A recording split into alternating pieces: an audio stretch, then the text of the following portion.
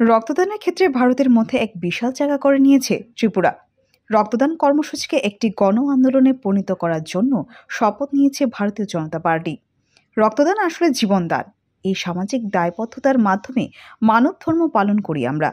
অত্যন্ত ব্যস্ততার মধ্যেও তাই চেষ্টা করি রক্তদান শিবিরগুলিতে উপস্থিত থেকে উদ্যোক্তা এবং রক্তদাতাদের উৎসাহ দিতে। যুবশক্তি সামাজিক সংস্থার উদ্যোগে আগরতলা ইউথ ক্যান্সার কর্নার ক্লাবে আয়োজিত রক্তদান শিবিরে উপস্থিত থেকে শনিবার এই কথাই বলেন রাজ্যের খাদ্য পরিবহন ও পর্যটন মন্ত্রী সুশান্ত চৌধুরী।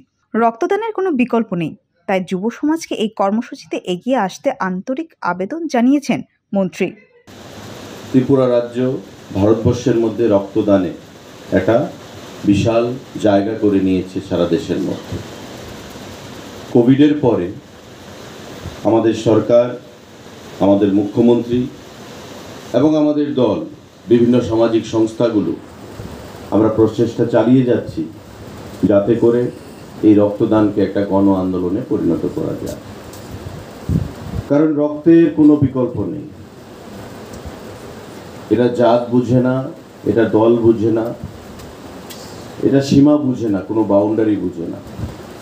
রক্ত মানে আজকের সামাজিকতার একটা উল্লেখযোগ্য নিদর্শন, মানব ধর্ম পালন এবং সমাজের প্রতি যে দায়বদ্ধতা আমাদের, মানুষের প্রতি যে দায়বদ্ধতা, সেটা তার রক্তদানের মাধ্যমেই আমরা সম্পন্ন করতে পারি।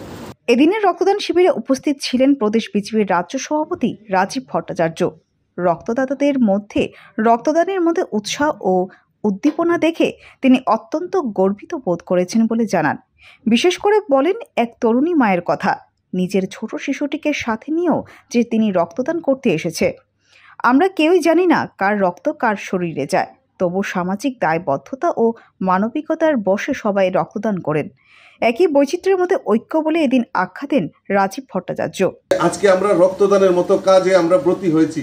এই রক্ত কার শরীরে প্রবেশ হবে সেটা আমি জানি না। আমি এই যে মহদ্দানে যারা ব্রতী হয়েছেন, আমি তাদেরকে সাধুবাদ জানাই, ধন্যবাদ জানাই। আমরা যখন পরিদর্শন করছিলাম, তখন কাউকে জিজ্ঞেস করছি, কতবার রক্ত দিয়েছেন? কেউ বলছে, চারবার। কেউ বলছে, পাঁচবার। একজন মহিলাও আমাদের সামনে দেখলাম যে তার বাচ্চা মেয়েটার সঙ্গে রয়েছে, ওকে সামনে রেখে এই মহিলাও বিছানায় শুয়ে গেছেন যে, আমাকে, আমার থেকে রক্ত নাও। ও মেয়েটা ওই ভদ্রমহিলা রক্ত দিয়েছেন। এই যে একটা বাতাবরণ আমরা দেখতে পাই, সেটা আমাদের কাছে অনুপ্রেরণা করে, অনুপ্রেরণা যোগায়। তো কাজেই এই রক্তদান মহদান যারা যারা উদ্যোগ নিয়েছেন, আমি তাদেরকে ধন্যবাদ জানাই। রক্তদান কর্মসূচির পাশাপাশি নেশামুক্ত ত্রিপুরা গড়তেও রাজ্যের যুব সমাজকে এদিন ডাক দেন রাজ্যের ক্রীড়া, শ্রম এবং সমাজ কল্যাণ মন্ত্রী টিঙ্কু রায়।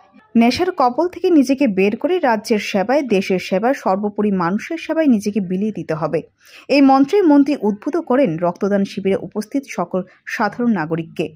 আমাদের একটা যুব শ্রেণি যারা নেশায় আসক্ত, অর্থাৎ যারা ড্রাগসে আসক্ত হচ্ছে, তার জন্য আমাদেরকে সবাই এগিয়ে এসে কাজ করতে হবে। প্রশাসন প্রশাসনের কাজ করবে। আপনারা দেখছেন পুলিশ বিভিন্ন সময় মানুষকে ধরছে বা বিভিন্ন সময় পুলিশ ধরে নিয়ে যাচ্ছে। এটাতেই কিন্তু সমস্যার সমাধান হওয়া সম্ভব নয়। সমস্যার সমাধান তখনই সম্ভব হবে, সবাই যখন সামিল হবে। আমরা দেখেছি যে, যখন প্রধানমন্ত্রী স্লোগান দিয়েছিলেন স্বচ্ছ ভারতের তো স্বচ্ছ ভারত তখন হয়তো রাজনৈতিক যারা দলের কর্মী ছিলেন ভারতীয় জনতা পার্টির, তারা সেই কাজগুলো করতেন। আজকের দিনে কিন্তু একটা জন আন্দোলন তৈরি হয়েছে। আজকে দেখবেন ব্যবসায়ী মহলও স্বচ্ছ ভারত করছেন। আজকে হয়তো সরকারি কর্মচারীরা করছেন, বিভিন্ন সামাজিক সংস্থাগুলো করছে। একটা আজ জন আন্দোলন তৈরি হয়েছে।